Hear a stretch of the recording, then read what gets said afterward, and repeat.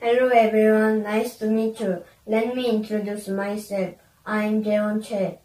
I'm 11 years old and 4th grade. I go to Daeun Elementary School.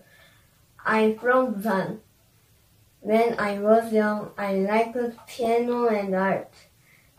Now I like playing soccer very much, and I also like riding a bicycle. My birthday is April 5th. Let me introduce my family.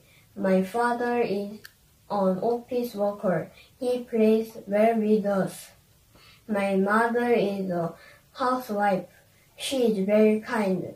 My brother is eight years old. He is cute. We are all happy. In the future, I want to be a soccer player.